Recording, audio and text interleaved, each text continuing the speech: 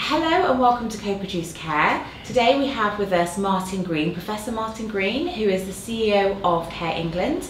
Um, and before we uh, kick off, I'd like to just ask you if you are watching this on YouTube, please subscribe, please like our content and feel free to share anything that we put out. So without further ado, welcome Martin. Thanks very much, Sophie. Thank you for coming on Co-Produce Care. Um, so when we start our interviews, we usually like to know a bit about the person. Mm. We know that you're CEO of Care England, and we'll learn about that a little bit more later. Yeah. But firstly, can you just give us a bit of a flavour of how you got into social care? Well, I really started working in social care when I was at school. I did an O level and an A level in sociology, and part of that was about working and supporting a, physical disabled person's home. And so I did some work in that area, and I really enjoyed particularly the interaction with the people who lived in the care home. I'm really interested, though, to remember what it was like all those years ago and how things have changed between then and now. But that really was the thing that sparked my interest in uh, social care. And um, Care England, that's one of the largest independent provider um, associations in the UK. What does Care England do? Well, we hope that we represent the social care sector and we represent them to what I would describe as key stakeholders. So, for example, the government at both national and local level. We represent them to the media, so we're trying to get a good, positive approach to media relations for the care sector.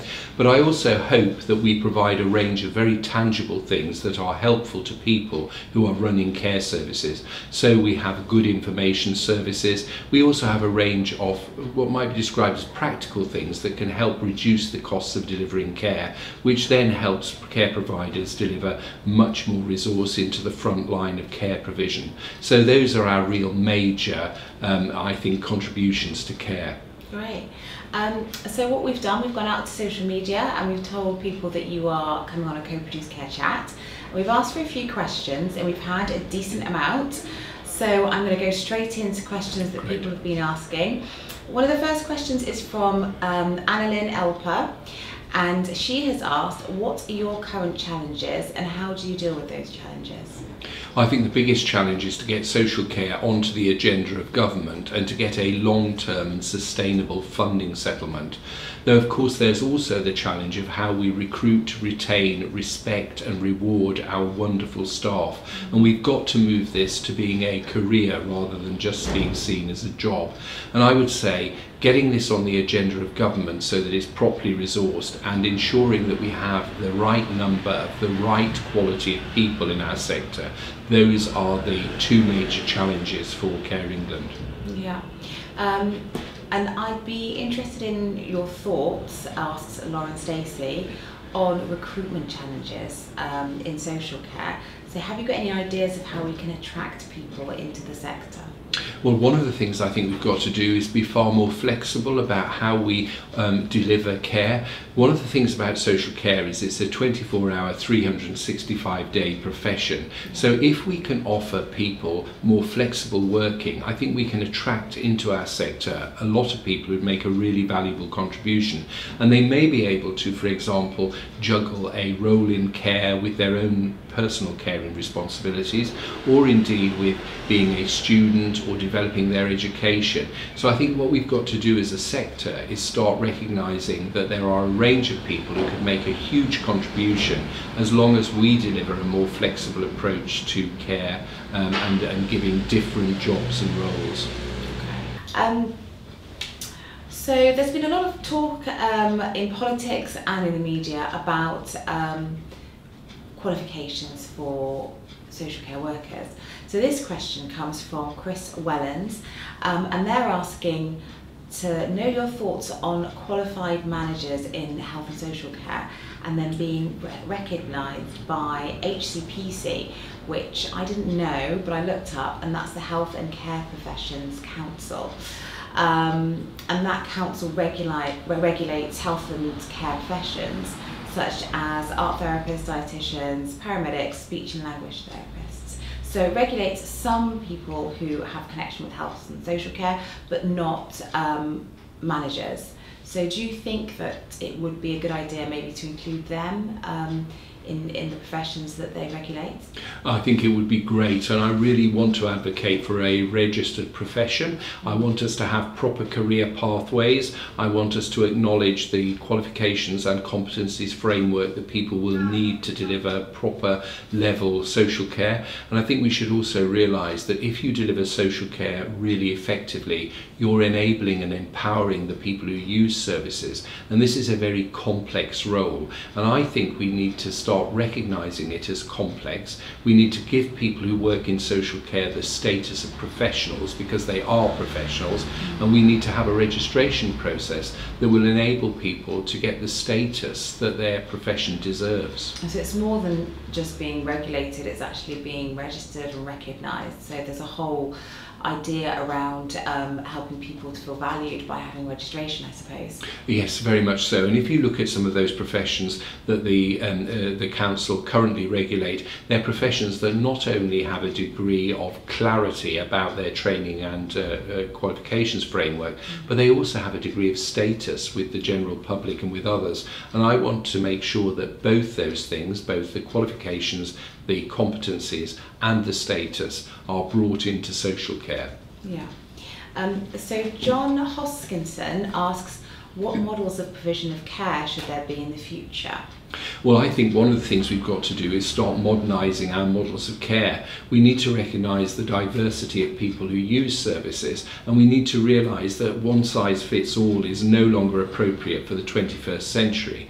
What I'd like to see is much more innovation and creativity, and also blended approaches to social care so that people can get the services that support them when they need them. And so I think there is a real opportunity for us to start thinking creatively about how we develop care in the future. Mm. Um, have you got any examples of what you think might be uh, a different model or models that are sort of being introduced by uh, vanguards of the area at the moment that you think are good examples of the way forward?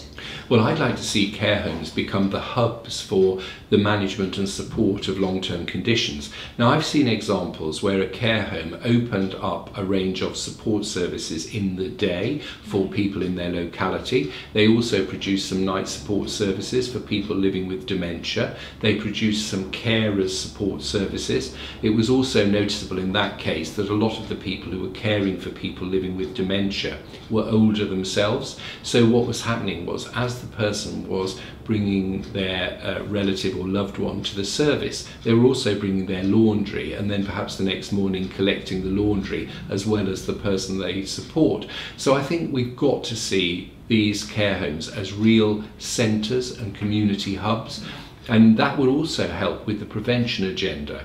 I think for a care provider's point of view, it provides a real connection with local communities and it will then provide a range of new people who might want to use their services in the future. So this really is a win-win for people who use services and also for care providers. And what about people who are being cared for who aren't um, maybe suitable for a care home environment, people, younger people, people with learning disabilities. Um, do you think there should be different models of care for those types of individuals? Well, essentially, I think we should have one starting point for every model of care, and that's about how we support people appropriately. Mm-hmm. And one of the things that I would like to see is that I think there are some brilliant models in learning disabilities which are really enabling models, and we need to transfer those into older people's care as well. You know, people are people and there should not be an arbitrary cut-off based on your age as to what service you get. So what I'd like to see is a complete understanding that we start from the premise of delivering what people need and that shouldn't be constrained by whether or not you're 60 or 16. Um, and then another connected question uh, from John again is, what do you think is the likelihood of health and social care being integrated under this government? Well, the first thing I want to do is reclaim the term integration. The problem with governments is they talk about integration and they talk about it in relation to the NHS, to local authorities, and sometimes to care providers. Mm. That misses the point completely. True integration is about how a service user experiences the service. Now, as I use often the uh, model of the airline industry, when I sit on an aeroplane, I do not know when when I leave Austrian airspace and go into German airspace. There is a massive process going on in the background, but what I experience is a flight from A to B. Now, this is the holy grail of an integrated process. If I asked a service user whether they'd had a good service and they said to me yes, and then I asked the supplementary question, who provided it, and they told me they didn't know, well, that to me would be a success tick in the integration box. But I think we have to recalibrate the conversation about integration and start from a different place. The, the conversation at the moment always starts with the organisations and structures, and I want to start with people and outcomes. Yeah. Um, so I suppose in order to start with people and outcomes, you really need to be looking at services from the person's point of view. Mm. Um, obviously, we're poor co-produced care. Um, we're very keen on co-production, but doing things co-productively can take time and resources. Do you think that involving people with lived experience in the process of integration or service change is even practical or possible in health and social care? I think it's both practical and possible, but it requires us to shift our mindset and it also requires us to recognize, like anything, that you might have to put some investment into that to enable people to be able to put their views in ways that help us to deliver services that are appropriate for them. One of the things I've found though is that if you start talking to people who use services about what they need and what they want, they're often the lower level things that make a difference. So I think if you look across the piece, if you start doing co-produced services, you might find that you're saving resources in some areas, though you might need to put a little bit of upfront resource in the enabling process so that people are first of all enabled to identify their views and put them in a way that is helpful to the development of the service. That's really interesting. So actually you might think it's more expensive, but in the long run you might be saving money because you're actually meeting someone's need. Um, so, so this is moving on to smaller providers, this question. Um, and the question is, what experience are smaller providers having in meeting the criteria for going digital and joining up with health authorities? So um, this is a question from Barbara and she's thinking uh, about Care Connect program um, and the challenge providers face with limited IT support in meeting the basic criteria. I think it's a big challenge for smaller organisations. In larger organisations, there's often an infrastructure that helps people to become more engaged with technology. One of the things that we've done at Care England is we've appointed an officer who's doing work on IT, trying to encourage people to get on NHS Mail, for example, to make sure that information is transferred. And I think we should also recognise, though, that one of the things that often happens when, for example, GPs needed to go technical and go into the digital age, the government pumped enormous amounts of money into them. That never happens in social care. What we usually get are small amounts of money in pilot form rather than bigger amounts of money which are available to the whole sector. So I don't underestimate the challenges for smaller providers of becoming digital. What I would say to them is, this is a classic case where if you do put the time, the money and the energy into going digital, I think further down the line you will find it will make significant savings and make your job much easier and hopefully with the transfer of information it will also be enable you to make a much more bespoke approach to how you support people uh, who are living in your services. So the next question is from Joanne Zamori. Um, and the question is about the regulator of health and social care, which is the Care Quality Commission, shortened to CQC. Um, and they're asking how effective is CQC in regulating social care services? That's the first part of the question. Mm-hmm. Second part is um, how do you think it can improve or stop institutional abuses being um, happening on a huge scale? Well, I think the first thing to say is I think we've got the regulatory model wrong. I think what we've done is we've focused the regulatory model on snapshots and also on processes. So you can get through a regulatory regime by ticking all the boxes around the structure and the administration. But actually, what we need to know is whether or not this service is delivering an outcome for the people who use it. I also think we need to move to a far less judgmental approach to regulation. So, one of the problems is that we focus on trying to find things that are going wrong with the system. What I'd much rather do is look at that in the perspective of saying, how do we learn from experience and make sure that it doesn't happen again? And I think the airline industry, again, has a lot to teach us because they have a critical incident approach to any challenge they look at it, they say what lessons can be learned, and then they make sure those lessons are learned by the whole sector. So that's something that I'd like to see the, the, the approach to regulation in social care. Now, in relation to the challenges, I think one of the problems is that in any regulatory regime, that if you rely on one visit every year or every two years, or in some cases every three years, mm. you're not going to get a feel for what's going on in the service.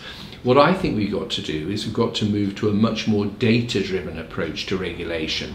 Now, I've seen some good examples, and in fact, there is a Care England member who has got an absolutely fantastic uh, and very, very comprehensive approach to how they deliver their services. So, a good example of this I was in an office, and one of the care plans said that the person liked to go swimming on a Wednesday.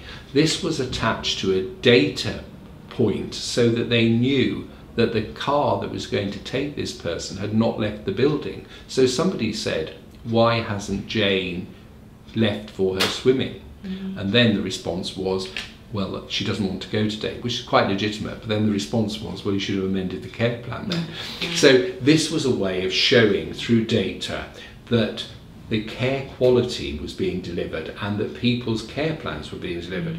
So I think in the future we're going to see much more of that. And what I want to see is the use of data so that we have a real time rather than a snapshot view of quality and we have a consistent, long term, minute by minute view of the experiences of people who live in care services. So the only question I suppose I have from that is with collecting all this data and with technology and uh, recording everything and every outcome that people are, uh, are receiving, does it get a little bit like Big Brother, where rather than just being a caring service that's meeting somebody's needs and it's a very personal service, we are just collecting all this data, recording what we're doing, um, and it moves away from being a, a very personal service that care sort of innately is.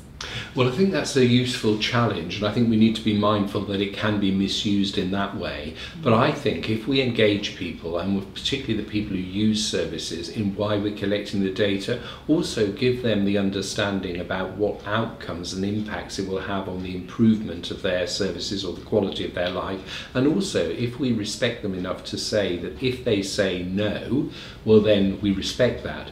But I think also I have a real view that sometimes we infantilize people who are living in care services or receiving care services. So if somebody says no, and there may be a consequence of saying no, we need to spell that out to them so they're really clear and have all the information on which to make an informed decision. Mm, yeah. um, so now we're going to move on to the big question of funding. Um, so Joanne also asks, what is being done to improve funding for the care sector as a whole? Well, we're certainly trying to get the government to understand that they need to put more money into the care sector, but unfortunately, they are very reluctant to see the care sector as being important in relation to both funding it and also giving it a long term sustainable funding. Um, interestingly, Uh, the election campaign that we just had was dominated by the NHS, and the perspective that was presented was that the NHS hadn't got enough funding. Now, in fact, the NHS has got enormous amounts of funding, and if you have a situation where you tell everybody we've got an integrated health and social care service, and we've got a department that's changed its name and said they're integrated, and yet we have one bit of the system that has about 185 billion in it, and another bit of the system that has 16 billion in it, you can quite see the inequalities there. What we also need to realise is that the 21st century is characterised by people who live with a multiple layer of conditions. So, long term conditions and how we support people is the issue of the 21st century. Yet, our funding regimes have not kept pace with that. And if we were going to respond now and start life from year zero, we would not have that vastly disproportionate funding in the NHS compared to what there is in social care. Why do you think the NHS or even the election campaigns were talking, or the manifesto talking about funding the NHS? It's already got so much money. Is it that they there's misuse in the system, um, and there needs to be more efficiencies? Um, because obviously there's this disparity between health funding and care funding. Um, do you think there's an issue with how money is being used in the NHS? I definitely think there is, and I think we need a public conversation about what the NHS is there to achieve. Now, of course, the NHS is a brilliant institution. It's done enormous amounts for a lot of people. You know, all of us we engage with the NHS, but our problem is that we don't now critically examine what it's doing, why it's doing it, or indeed how much money it's taking to do it. Interestingly, I was giving a speech recently about the position of social care and why people don't engage with it. and I looked at my television and I saw that on one day there was GPs behind closed doors. Emma Willis delivers babies, one born every minute, inside the surgery unit, uh, 24 hours in A&E, inside the ambulance. This is on one day. These are organisations in the media who are presenting the NHS to the public. So that is why, as well, the, the public have this view about the NHS. And it's quite interesting. One of the things that happens is if there is a scandal in the NHS, the default position of the public is to say the government hasn't given them enough money. If there's a scandal in social care, the default position is to say those greedy providers have taken all the money. Mm. Well, actually, we need a more adult conversation. This is not a Punch and Judy show. This is about people's lives, mm. and we need to have a proper conversation about how we fund social care into the future so that people as citizens understand what they have to contribute, but also have an expectation about what they'll get get when they get to social care. And unfortunately, often people only come to social care when it's a crisis and they have no knowledge about the system because they assume it's like the NHS. Mm-hmm. I was. Uh, I work for a social care organisation and we got a lovely compliment letter from somebody and they called us the fourth emergency service and uh, I really touched my heart. But then it made me think about the sector, and that normally is how it is. Um, if people can't get hold of the other emergency services, or it's not quite as important as that, then they do go to social care.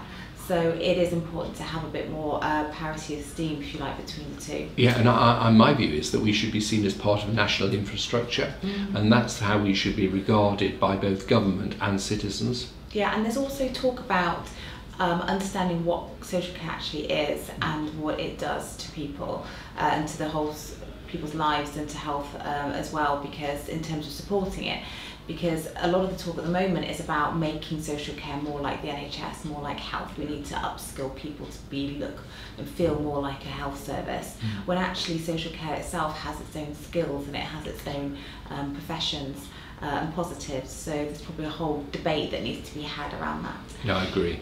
Okay, so the next question is from Edge Training, um, and they want to talk uh, about deprivation of liberty safeguards. So they're changing to the liberty protection safeguards. And their question is um, What are your thoughts on local authorities asking care homes to commission and arrange assessments under the new uh, DOLS LPS? Are they prepared for this? So, are uh, care homes prepared for this change? Well, first of all, I don't think care homes are prepared for this change, but also I would argue that I think this is not a very helpful change because it is in effect people marking their own homework. And also, we have a situation where when this was brought in, local authorities were given shed loads of money to set up departments many of which failed miserably, and yet when they're going to transfer this to care homes, they're not putting shed loads of money into the process. So I think there's an issue about whether or not it's going to be shall we say, independent, but there's also an issue about how we get the sector ready and train and support, and also how we backfill when people are doing this work. So I think there are a lot of questions that have not been answered, and I think this was just a money saving exercise. And partly it was because the people who'd failed were local authorities, and when local authorities fail, there is a direct route to politicians, and they don't like the failure train hitting the bottom of their desk. So what they like to do is then transfer it to somebody else so that when it goes wrong, they can blame somebody else. Well, that sounds very cynical, but I wouldn't be too, too surprised if that's very similar to the truth. Um, but I know from talking to care providers and registered managers, you know, there's this duty, this new responsibility, and like you say, people just not being very well equipped or advised on it. Um, I think it's definitely going to come up as a, as a new issue for 2020. No, I think it is, and actually, I think it's something that's a pertinent reminder for Care England that we need to do our bit in making sure people understand yeah. what the new processes are. Absolutely, absolutely. Uh, so now we've come on to the section of our interview where we ask cactus questions. Okay. I don't have a cactus with us at the moment, but um, they are prickly questions about health and social care. Mm-hmm. Um, and the first one is from David Smallacombe from Care and Support West, Care Association in Bristol. Um, and he asks, uh, how is your relationship with Boris? um, obviously, we're just out of uh, election period. We've got Conservative government. Um, and he wants to know how that relationship is developing and what are your hopes for any changes in social care funding from the new government? Well, I would say the relationship with the Prime Minister is very much in the development stage, and partly that's because no, nothing has been on his desk other than Brexit since he became Prime Minister. It'll be interesting to see when we get past the end of January and we've gone past the point of a formal Brexit, whether or not the government starts to focus its attention on some of the other issues. it was quite interesting, is that they have talked about things like economic uh, positions in those constituencies that went from red to blue in the election. And the Prime Minister talked about what he was going to do for those constituencies who had loaned him their vote. Well, in lots of those constituencies, social care is the biggest employer and is a major part of those local economies. So I think what government need to do is recognise the importance of social care to the people who are the recipients of it, to the people who are supported, but they should also know that social care is in many local areas the most important economic driver. People who work in social care live locally, they, they spend their money in local businesses and shops and they sustain local economies. So there is a really imperative for government to address this issue from the perspective of people who get support, but also because of its importance in local economies. Um, the next question is about the private and voluntary sector debate. So, uh, Care England uh, supports private providers, if I'm right in saying? No, we have lots of charitable providers charitable, okay. as well. So sometimes there's this debate where people think social care should just be provided by voluntary organisations and not by uh, private organisations who may be making a profit. What are your thoughts about that uh, that issue? Do you think that there should be a certain type of provider that should be providing these services, or does that really matter? Well, certainly, I don't think it matters. I think we are too hooked up with the legal structure of organisations. I never hear a service user say to me, Oh, the biggest concern I have is that this is a charity or this is a business. What they do is they talk about the services they receive and how they are supported. And I think the whole issue about whether or not it's charitable or whether or not it's business is a complete irrelevancy. I want sector neutrality and I want people to be judged on what they deliver, not how they're structured or how they're managed. And the issue as well about whether or not people make profit. The reality is that if you don't make profit, you haven't got a sustainable business. And I could argue that huge amounts of the public sector, the surplus value just gets divvied up amongst the staff in things like in the NHS, very uh, large pension fund contributions, for example. So I think what we should realise is that we have a plural economy of care, that we shouldn't be too bothered about whether or not it's private charitable or public, but we should be focusing on is it delivering? And I think some clear measures, which is outcomes to the person who used the services and efficient use of the resources. Those are the two issues that we should be focused on rather than is it registered with the Charity Commission, Companies House or a government body. Um, and the Green Paper. We still haven't had the Green Paper. Will we ever have the Green Paper? I don't know. But if we were to have green paper, what three main things would you expect from a green paper? Well, the first thing to say is, frankly, I don't think we need a green paper. The bottom line is we have spent the last 21 years inquiring into the problem, and need, now people need to start thinking about the solution. We know the challenges in social care. They're about funding, they're about flexibility, they're about how we recruit, retain, and train our staff. These are the big issues. We know what they are. We know some of the solutions to them, and what we expect is a government with an 80 seat majority to just get on and do something rather than endlessly talk about it. I was very interested in the Prime Minister's comment that he was going to seek a political consensus. Well, the answer to that is why. You know, the bottom line is if you have 80 seat majority, it is your responsibility to govern. And what they talked about with the political consensus was at a time when you had to have political consensus to get anything done. Well, now that time has passed. So what we expect is less talk and more delivery.